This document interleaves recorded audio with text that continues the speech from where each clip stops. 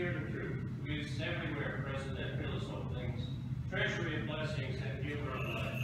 Come and bind us, cleanse us from every stain, and save our souls from the light.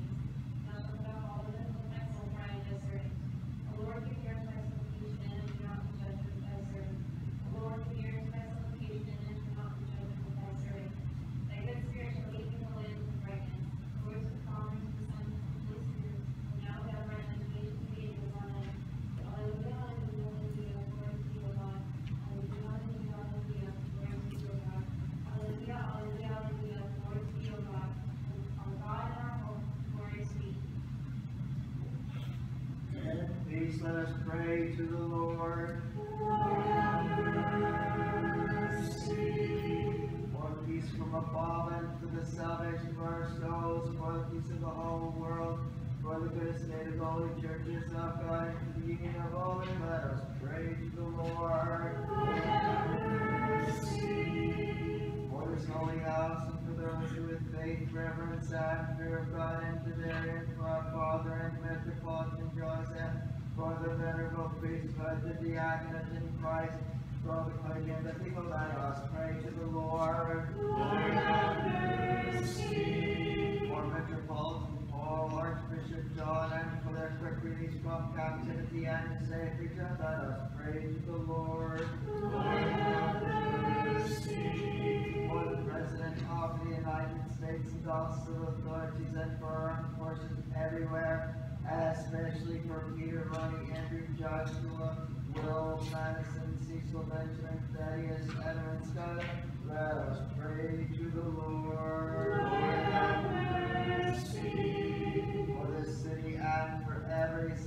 and land and for the faithful who dwell therein for helpful seasons, for abundance of the fruits of the earth, and for peaceful time, let us pray to the Lord.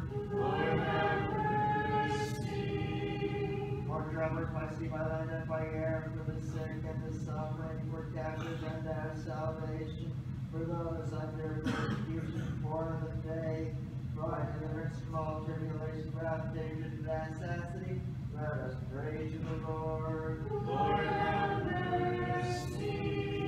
Help us, save us, have mercy on us, and keep us, O God, by thy grace. Calling to remembrance, O holy, immaculate, most blessed, and glorious Lady Spring, all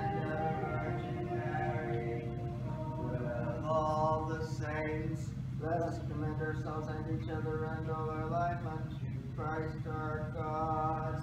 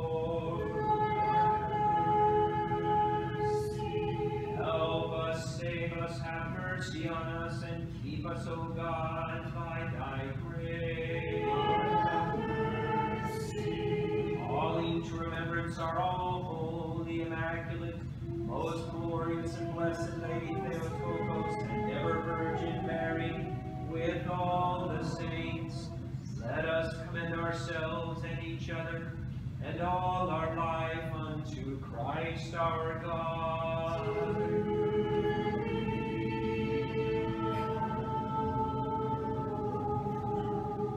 For thine is the majesty, and thine is the kingdom, and the power, and the glory of the Father, and of the Son, and of the Holy Spirit, now and ever, and unto ages of ages.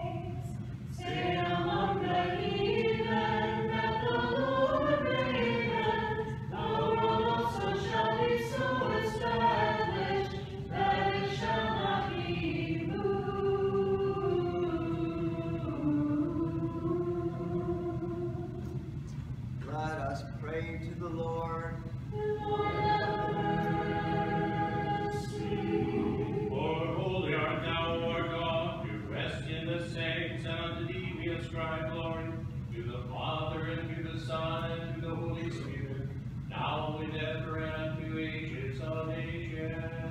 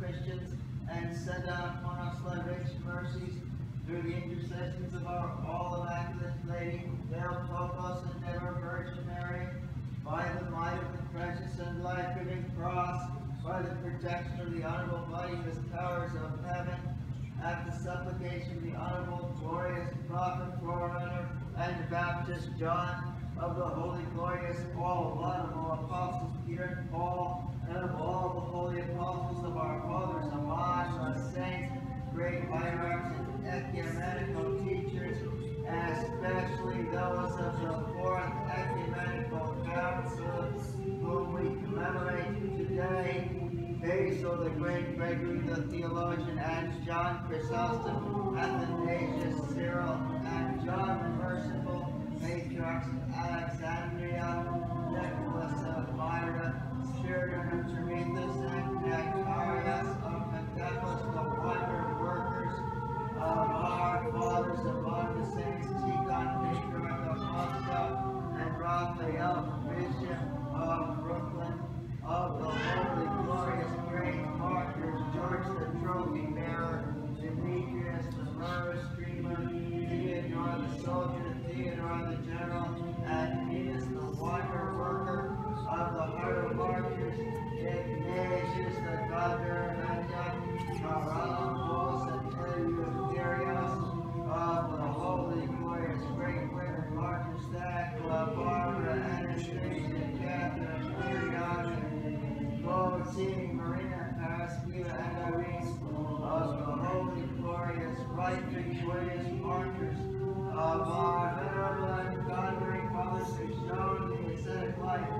of Saint Barnabas the patron and protector of this holy community, of the holy and righteous ancestors of God, Joachim and of the apostle Aquila, of the seventy, Joseph the confessor, archbishop of Thessalonica, Peter, bishop of Crete, venerable Onesimus of Magnesia, and Nicodemus of the holy mountain, whose memory we celebrate today, and of all thy saints, we beseech you, O most merciful Lord, hearken unto the petitions of us sinners, who make our supplications unto thee, and have mercy upon us.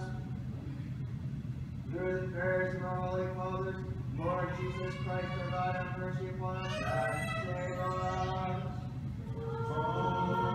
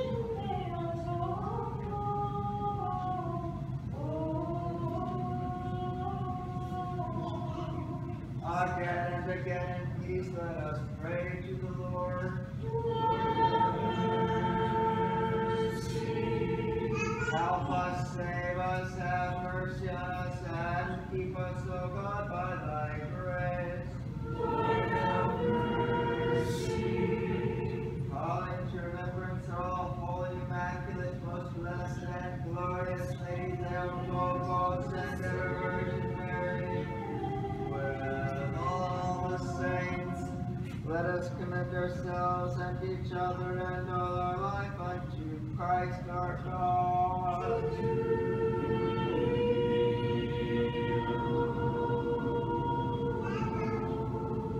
Through the prayers of our Holy Father, Lord Jesus Christ, our God, have mercy upon us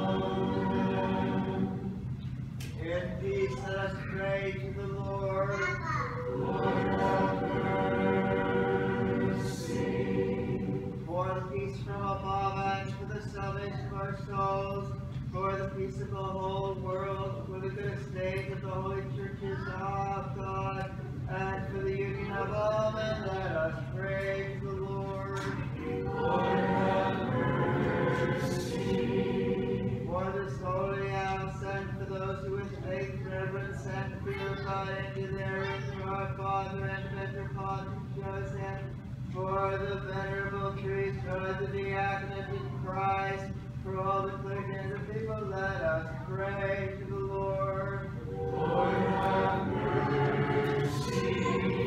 For our Metropolitan Bishop John, and for their quick release from captivity and a safe return, let us pray to the Lord. Lord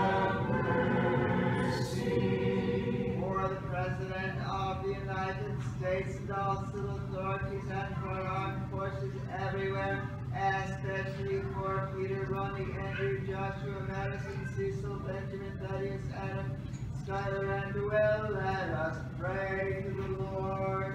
Lord have mercy.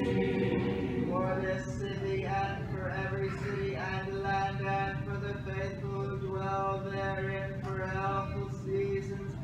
for abundance of the fruits of the earth, and for peaceful times, let us pray to the Lord. For travelers by sea, by land, and by air, for the sick and the suffering, for captives and their salvation, for those under persecution, for the faith, for our deliverance from all tribulation, wrath, danger, and necessity. Let us pray to the Lord. Lord, mercy. Help us, save us, have mercy on us, and keep us, O God, by thy grace. Lord,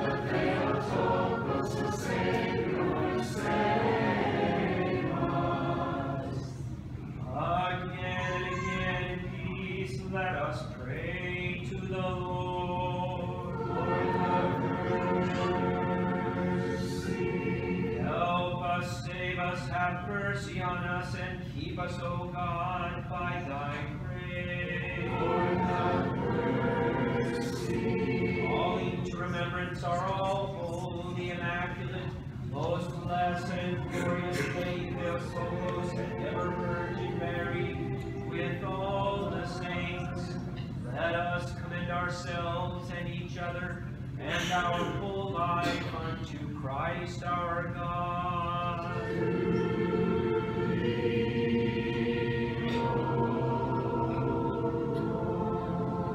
For thine is the majesty, thine is the kingdom, and the power, and the glory of the Father, of the Son, and of the Holy Spirit, now and ever, and unto ages of ages.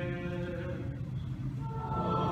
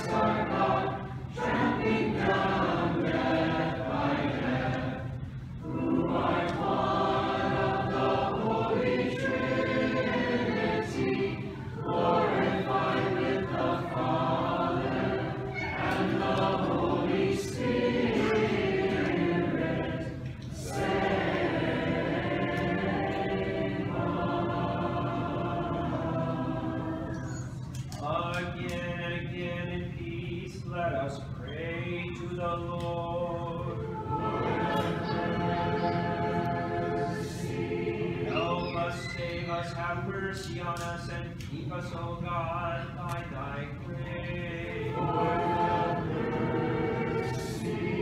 Calling to remembrance are all holy, immaculate, most blessed, glorious Lady Theotokos, and ever Virgin Mary, with all the saints. Let us commend ourselves and each other and our whole life unto Christ our God.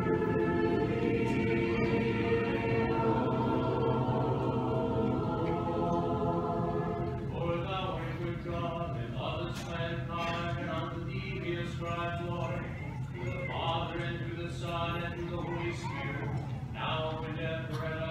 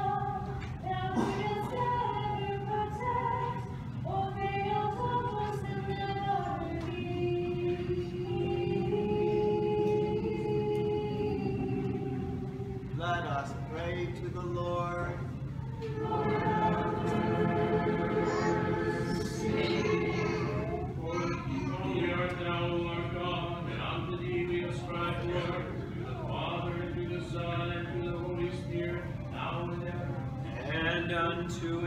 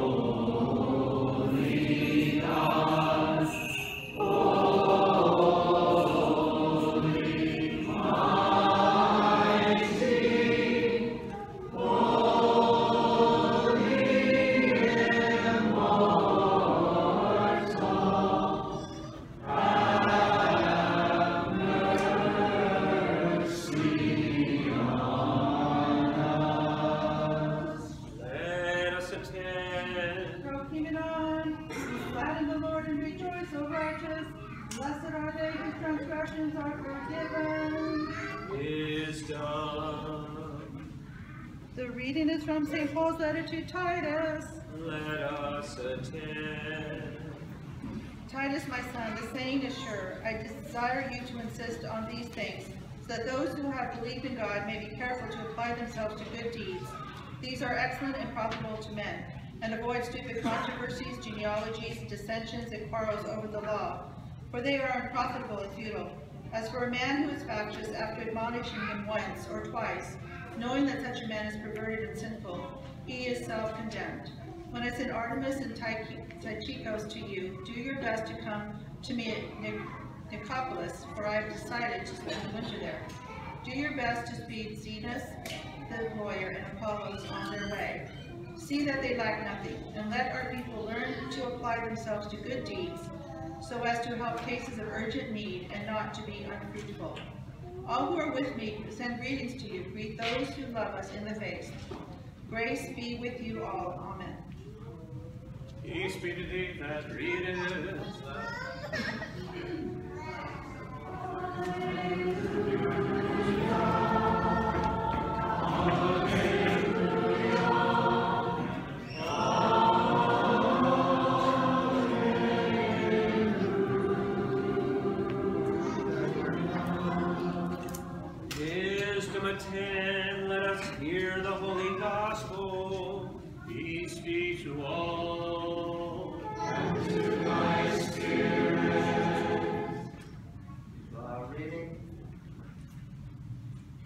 The reading of the Holy Gospel according to St. Matthew. Glory to thee, O Lord. Glory to thee, O Lord. Let us attend. The Lord said to his disciples, You are the light of the world. A city set on a hill cannot be hid nor do men light a lamp and put it under a bushel, but on a stand, and it gives light to all in the house. Let your light so shine before men that they may see your good works and give glory to your Father who is in heaven. Think not that I have come to abolish the law and the prophets. I have come not to abolish them, but to fulfill them. For truly I say to you, till heaven and earth pass away, not an iota, not a dot will pass from the law until all is accomplished. Whoever then relaxes one of the least of these commandments and teaches men so shall be called least in the kingdom of heaven. But he who does them and teaches them shall be called great in the kingdom of heaven.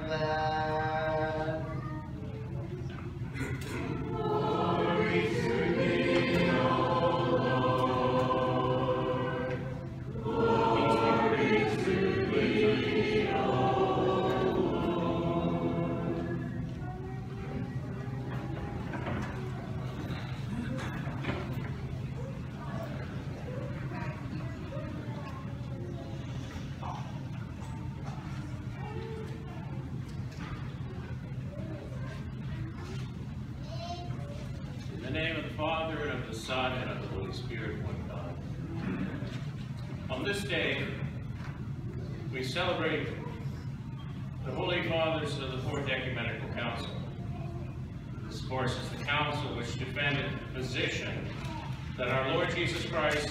both God and man, existing since his incarnation with two distinct natures, united within his one divine person. He is both fully God and fully man without any blending or mingling of his two natures. His two natures remain distinct and perfect, yet inseparable and indivisible. Jesus Christ is both now and forevermore perfect God and perfect man, united in the one divine person of the Son of God.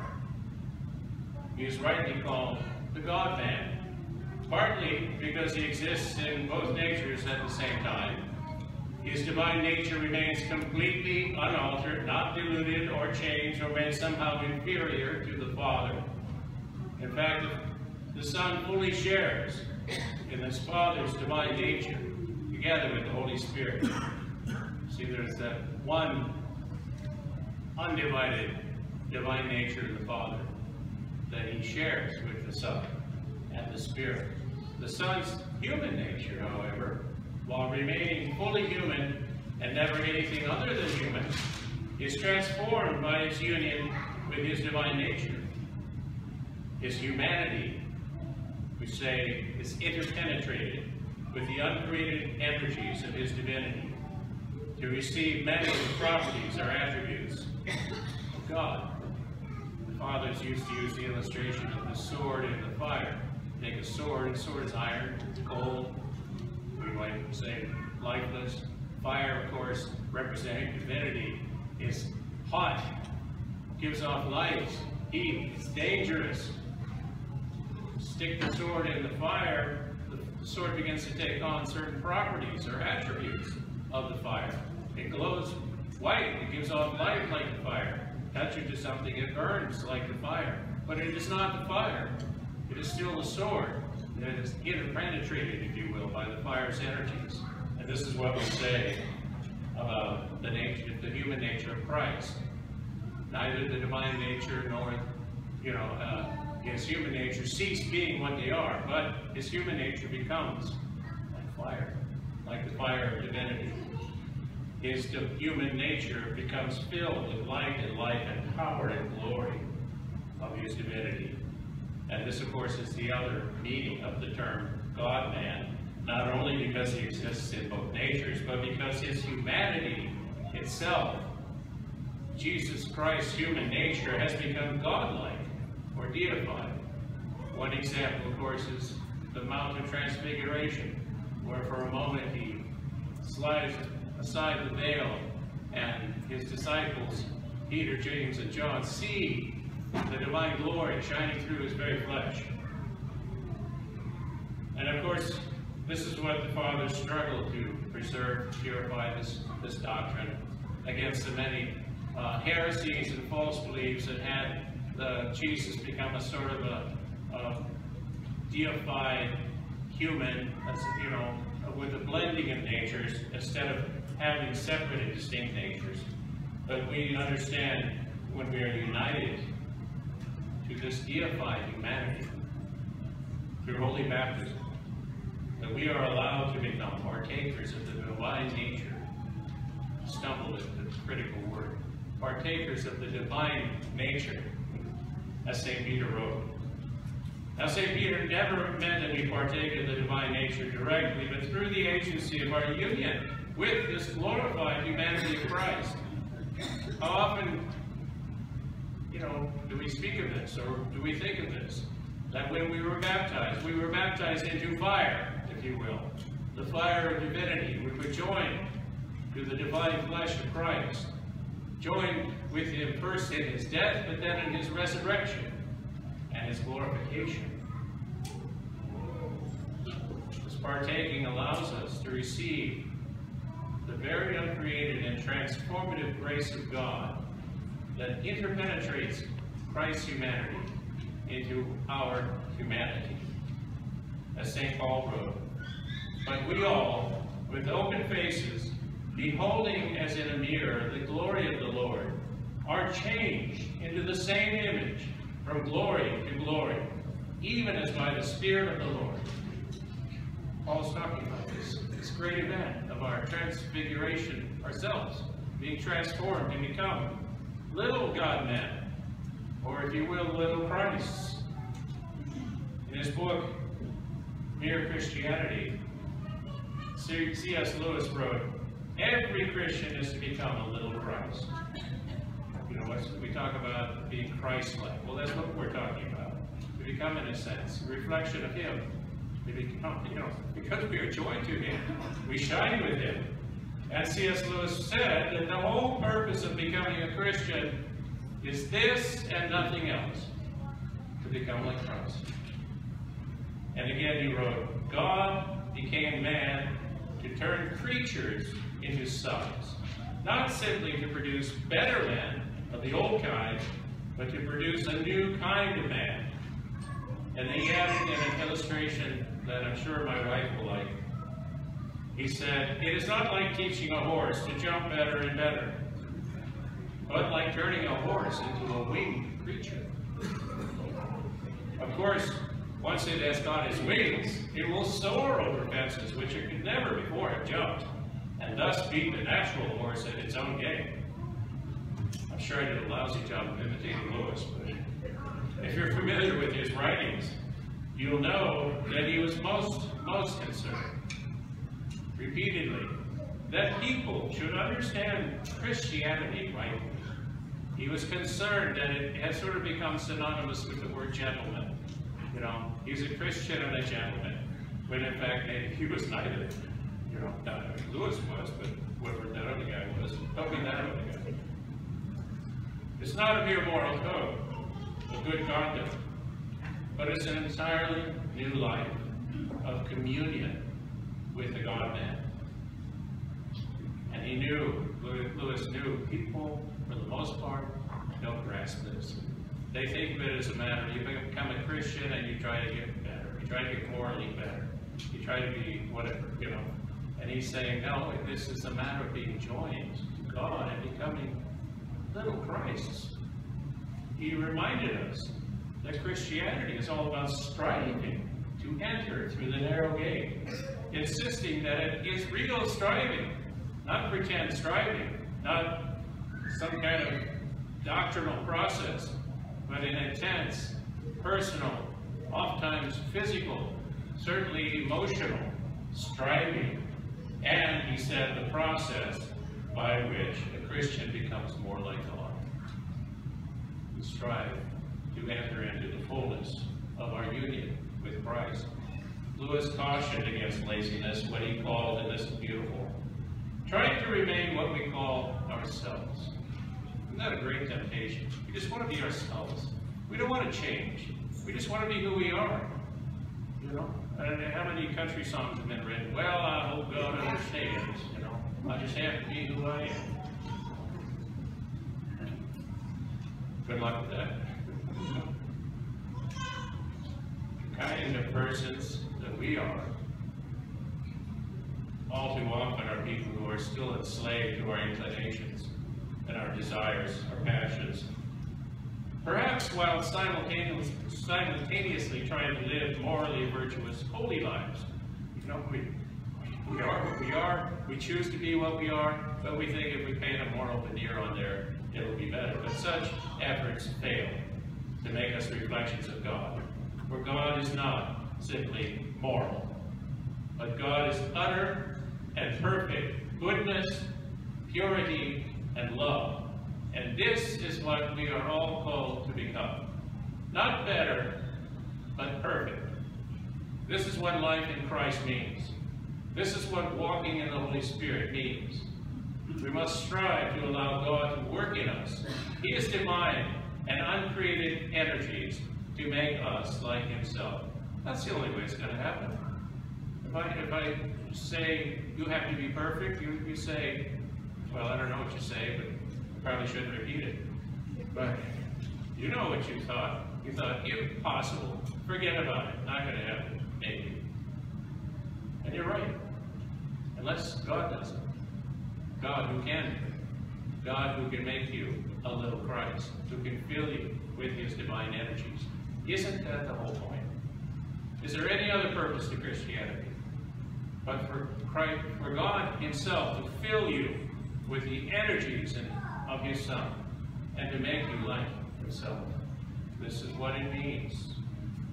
To be saved, it means to be healed, to be made whole, to be made fully and completely human which is to say, filled with God. We're no longer only a plain human being, just a plain, ordinary human being. You know, we so often say, well, I'm only human, as if somehow that excuses. But to be human means to be like God. Since the incarnation of Christ. That's what it means. A human being is to be filled with the life-giving grace of God. If, you if you remain only a plain human being, no matter how good you are, you will be lost. You will be lost because in the end, Christ will see nothing of himself in you, nothing of his life, nothing of his love. No man or woman, no matter how good, can make him or herself divine. But God can make us divine. And trying to be better and trying to be gooder, trying to be more moral, does not make us divine. Only God can make us into little Christs. And only if we allow him to do so by yielding to him. We can choose not to. We can ignore. We can be distracted and remain distracted by all the things in life that we hope to derive joy and purpose and pleasure from. You know, we don't just give up following God because we want to be miserable. We, we don't follow God because we have other things that we're more interested in. Our happiness now, our pleasure now, our success, our fulfillment now. These things are vanity, will pass away. The life of Christ is infinite and greater and is already in you. You don't have to go looking for it.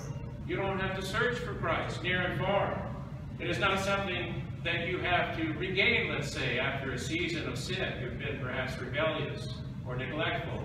And you think, oh, now God is so far distant. No, He's still in you. He's still inside you, waiting, waiting for you to, to wake up. You don't have to work yourself uphill. You don't have to fulfill a, a, you know, a probation to prove that you're really serious this time. All you have to do is turn to Him. At that very moment, that very instant that you set aside or are willing to set aside every love, every false love, every idol, everything that you sought to gain purpose or meaning or satisfaction from, and turn to Christ, to receive that, to follow him, you begin anew to shine with his divine glory. The only thing that stops us is us. But we have to remember, who's in us? Greater is he who is in you than he who is in the world, we used to quote. But do we believe that? That he is in us? That he can fill us with himself? Well, we better believe it because you know what? It's God. And he loves you. And he saves you. Live for him and live forever. To the glory of God, the Father, the Son, and the Holy Spirit.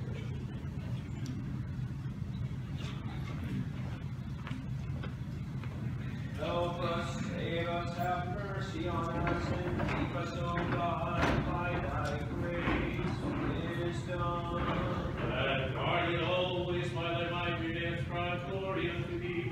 the Father, and to the Son, and to the Holy Spirit, now and ever, and unto ages of ages.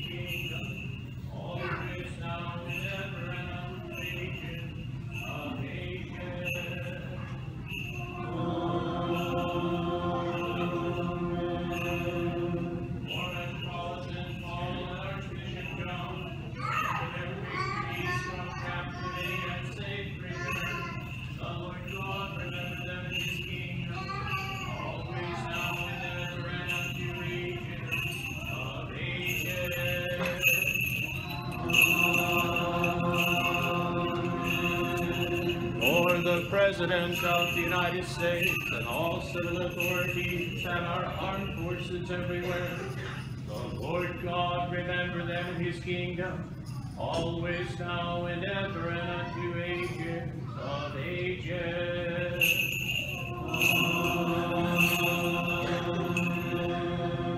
For the Orthodox servants of God, especially for the Archpriest Wayne, for Peter, for Wanda, Teresa, Natalia, Chris, Kamisha, Tatiana, for John and Michelle, for Christine, Caitlin, Amanda, and Stephanie, that they have mercy, life, peace, health, salvation, visitation, pardon and remission of their sins. The Lord God remember them in his kingdom, always now and ever and unto ages of ages.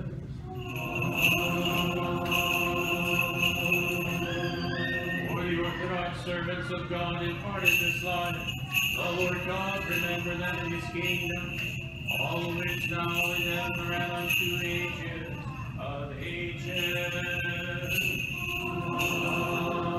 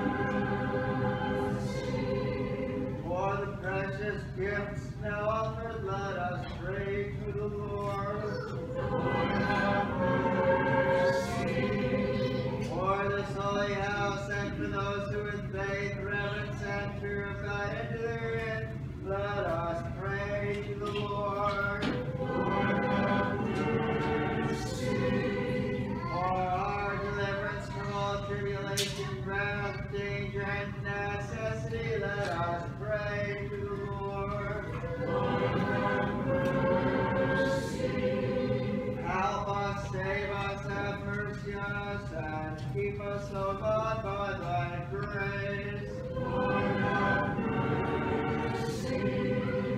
That the whole day may be perfect, holy, peaceful, and angel of peace and guide, the guardian of our souls and bodies, let us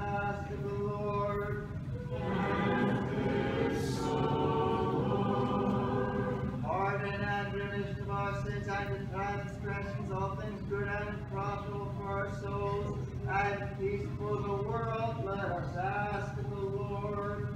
Grant His soul that we may complete the remaining time of our life in peace and repentance of Christian and into our life painless, blameless, peaceful, and a the good defense before the fearful judgment seat of Christ. Let us ask of the Lord.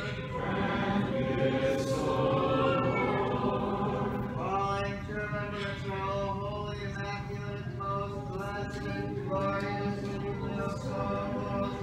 Virgin Mary, all the saints let us commend ourselves and each other and all our life unto Christ our God.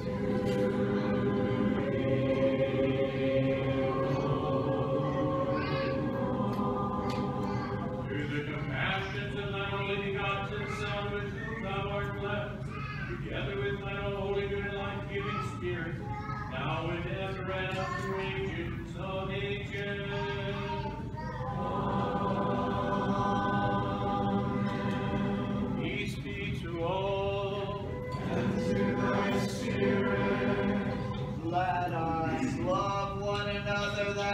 what accord we may on.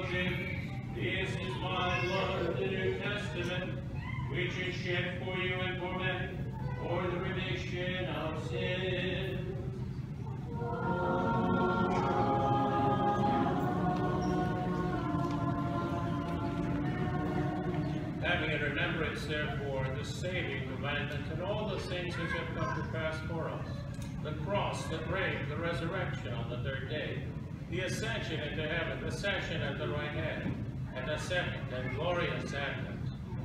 Thine own of thine own we offer unto thee, in behalf of all and for all.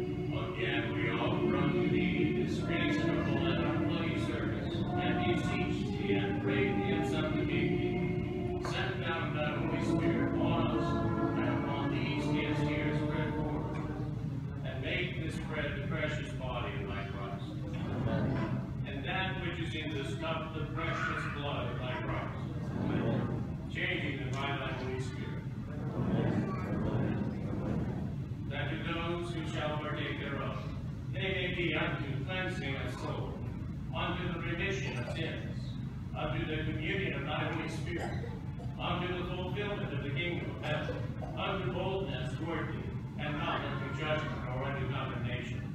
And again we offer unto thee this reasonable service for all those who in faith have gone before us to their rest.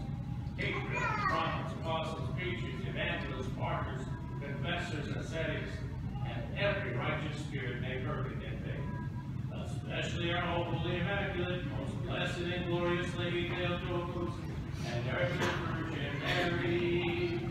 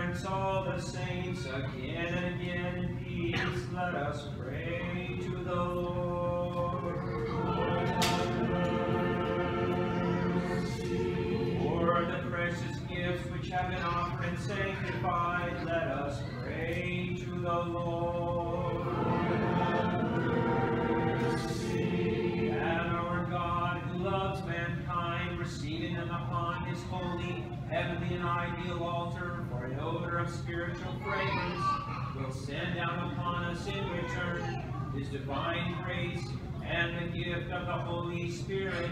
Let us pray to the Lord. Lord Asking for the unity of the faith and the communion of the Holy Spirit, let us commend ourselves and each other and our full life unto Christ our God. Thee,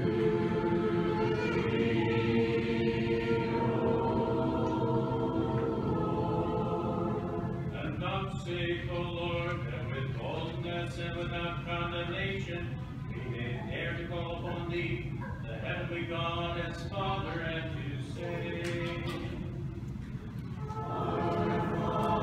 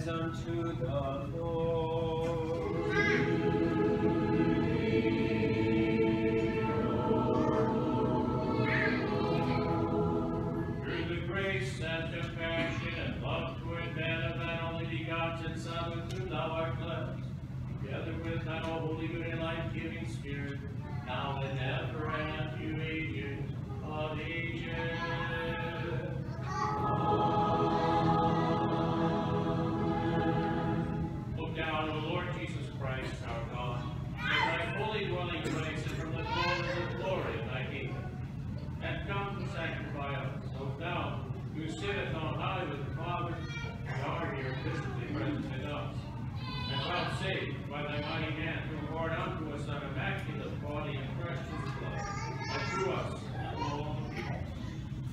God, God. Have mercy God. Have mercy Let us attend.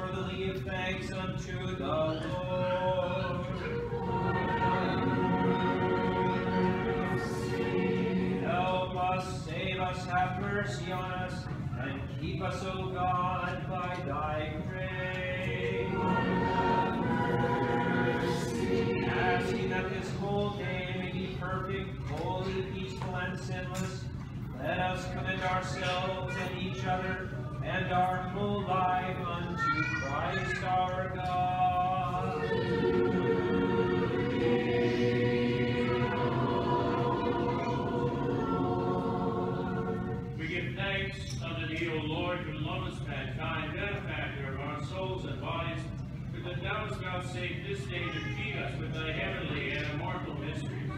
Make straight our path, establish us all in thy fear, guard our life, make firm our steps. Through the prayers and intercessions of the glorious Theotokos and ever Virgin Mary and all thy saints.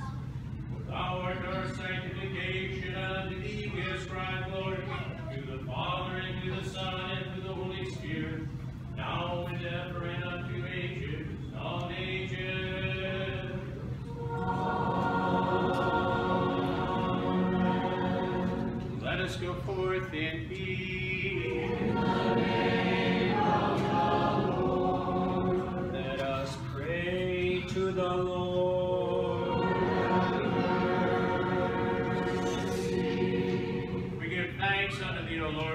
mankind, benefactor of our souls and bodies, for that thou hast vouchsafed this day to feed us with thy heavenly and immortal mysteries. Make straight our path, establish us all in thy fear. Guard our life, make firm our steps. O oh, Lord, who blesses those who bless thee, and sanctifies those who put their trust in thee, save thy people, and bless thine inheritance. Preserve the fullness of thy church. Sanctify those who love the beauty of thy house. Glorify them and recompense by thy divine power. And forsake us not who hope on thee. Give peace to thine world, to thine churches, to thy priests, to all civil authorities, to our armed forces, and to all thy people. For every good and perfect gift is from above, and cometh down from thee, the Father of lights. And unto thee we ascribe glory, thanksgiving, and worship, to the Father, and to the Son, and to the Holy Spirit, now and ever, and unto ages of ages.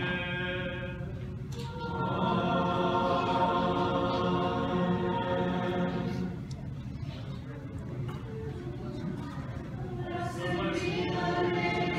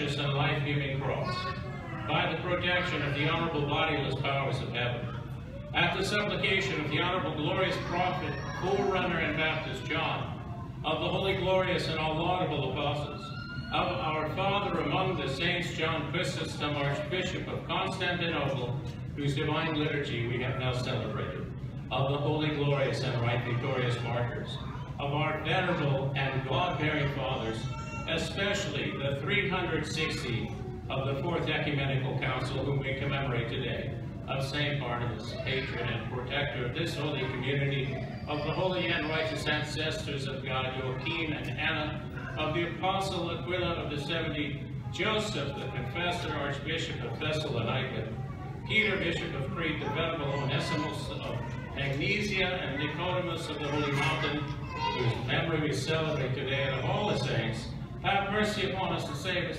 for as much as he is good and loves mankind.